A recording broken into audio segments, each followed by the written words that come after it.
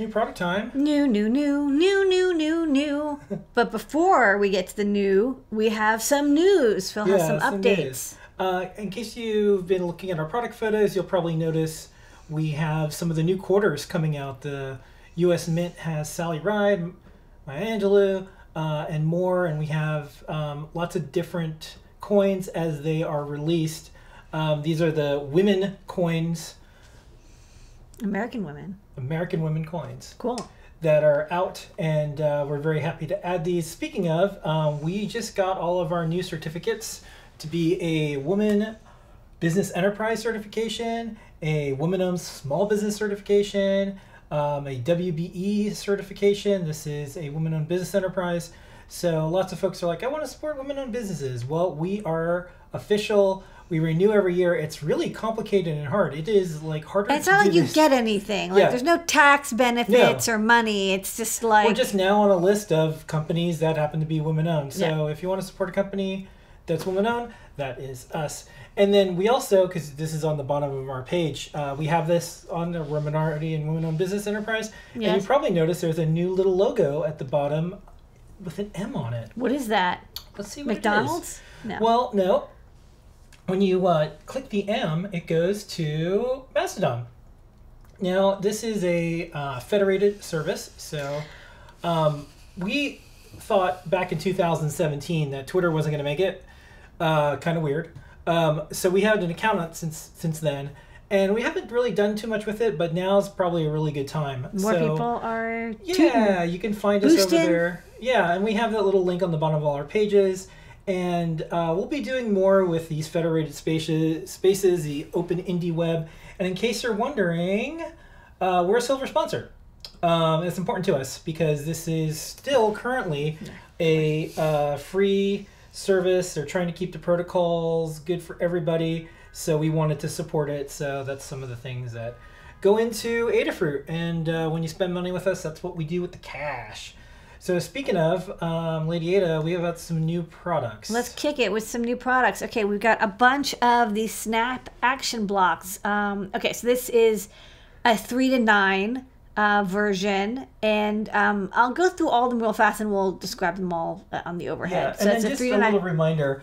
Um, You can also, uh, anytime you go to the pages, we have a selection that you can see all of them in one spot Yeah. on each page. nice. So okay, so Okay. that was So that was a the three to nine. one, This is the two to six.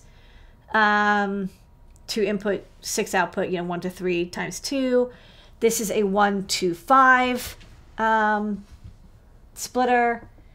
Uh, and then those were like the ones that go like one to n, and then these are one to one. So this is six in, six out, but it's like one to one.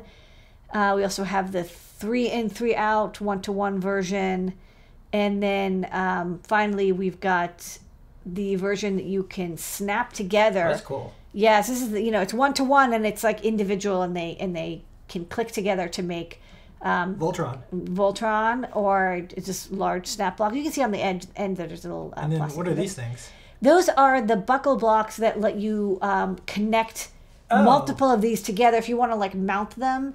Oh, that's Um, cool. So these are little buckle blocks. Okay, so now let's show them on the overhead because they're Okay. Yeah, so it's three to nine, three to nine, two, to, five, six, two to six, one to one five. to five, one to one, Yeah, one to one times six, Yeah. one to one times three. and then and then the one each individuals. Okay.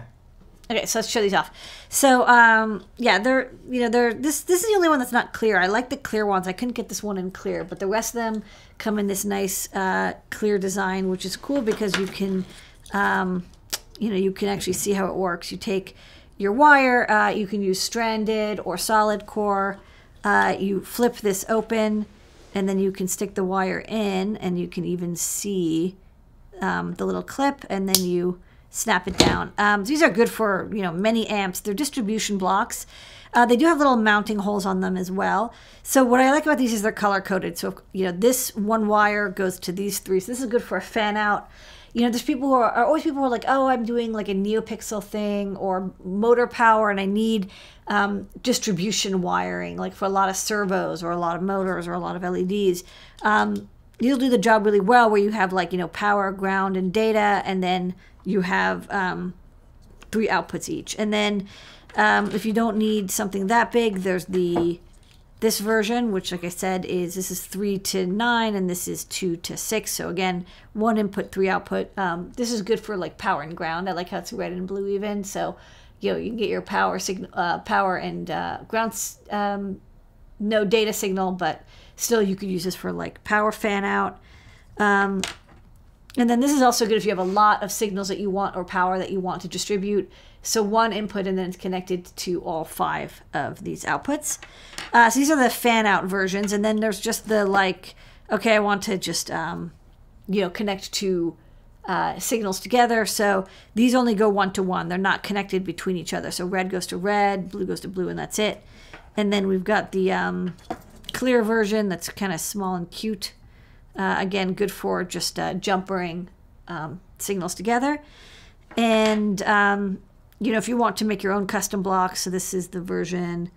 Let's see if I can line these up. So this is the, yeah, so here goes. This, you can, whoops, you can slide these together and then they, they connect and then you can make, you know, as many as you want. Um, so if you only want like two, so it's like, you know, it's, it's a little bit larger than the ones that are all in one, but you can, of course, uh, create any number you wish in a row. And then finally, the buckle blocks, as I mentioned, um, these are good because you can uh, use these to snap together. So let's see, doesn't work with that version, but does work with this. So it works with the, um, ooh, these are the only thing is these are hard to put on, which is good. Hold on. Let's see how these, they definitely go on because I got them before, but it's just hard to do my hands out. I don't want to break this either. Oh, there you go. One side. And then, yeah, whew. Okay, tough, but firm. And um, this is what it looks like. You know, you can connect these side by side, and then you get the uh, mounting holes in the center um, because these don't have mounting holes the way the distribution fan out blocks do. So, um, you know, mounting holes, you also, of course, tape these down. Uh, you get two buckles per. So, you know, a wide range of these snap action blocks. Um, they're similar to the Wago blocks. They're not official, you know, Wago style, but uh, I do like the colorful arrangement, which I think is worth uh, investigating, trying out this version. Okay, dokie. Uh, next up, some hardware. Yeah, we have another feather from Unexpected Maker. This is the ESP32S2 Neo. Um, it went to the Matrix, it came back out, and it's got LEDs. It's got a, a cute 5x5 grid of NeoPixels in the center. So, um, really fun if you want to have like little scrolling text. 5x5, as people know from the microbit, is enough to have little uh, scrolling text messages or a miniature graph or little icons. We just did a project, Liz did, where it's a weather meter, but it uses little um, five by five icons for like snow or sun or wind. Um, so you can actually do quite a bit with just um, showing the display or graphics on a five by five RGB matrix. Um, there's also a STEMMA QT port. Of course, it's ESP32S2, so it's got Wi-Fi. Um, it can run CircuitPython. It can run Arduino. You can battery power it. You know, it's just a fun, got little little bling going on there um, which I dig. And then there's a looks like there's even an extra NeoPixel to the side as well. So um, you can use one for indication and one for a display. Okay, the star of the show tonight, besides you, Lady Ada, our community, our customers, our team, and everyone helps make this thing go, is a little MOSFET motor stemma. Um, so we are trying to have a couple little helper add-on boards. Um, we, especially in the forums, we see people who um, get stuck trying to build basic electronic projects that you know require a breadboard, but they're still you know even though they sound simple, they're kind of complicated. So a lot of people want to say control a solenoid or a motor, just turn it on or off, or turn a fan on or off. Here's your biggest fan. It's a oh, oh, it's a small oh, fan, but it's a it's a nice fan. Oh, it's big. Um, and you know when you connect to especially a motor or a solenoid, um, you need to have your power transistor, and sometimes you have uh, you need to have a pull up or a pull down or an inline, and then you also have to have your kickback uh, protection diode. And a lot of people like get the diode wrong, or they forget the diode and they fry out their microcontroller board because the the power supply ends up um, spiking. and it's kind of a downer. So we thought, like, let's make a little add-on board that is, you know, solder-free, great for use with a Circuit Playground Express or a microbit or any microcontroller board, really, and just makes it really easy for you to turn on or off um, a load, you know, inductive load up to one amp, one and a half amps continuous. You can peak at like you know three amps. Um, and it can do 20 volts logic up to or 30 volts power. And of course that you can have it switch a 30 volt power signal with a 3 volt microcontroller line. So that's that's also kind of nice. It's it's you know it's it's a MOSFET so it's separated logic and power. So here's uh, a little demo I can just show off how You're gonna, you're gonna show the fan live. no, I'm gonna I'm gonna be a fan. All right. Um, so it uses the Stemma, not Stemma QT, but the original Stemma connector, which is a JSTPH with ground, power, and signal in.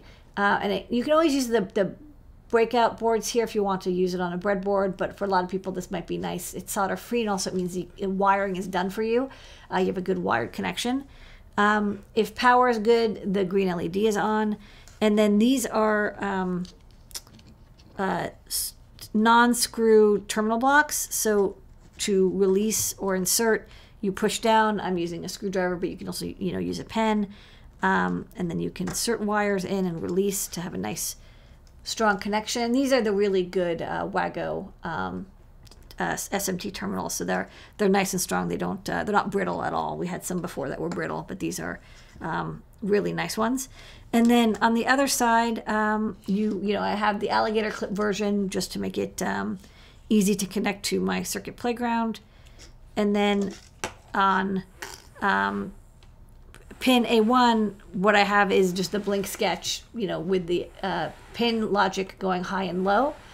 And you can see that when the signal is on, you see the red LED, so that's good for debugging.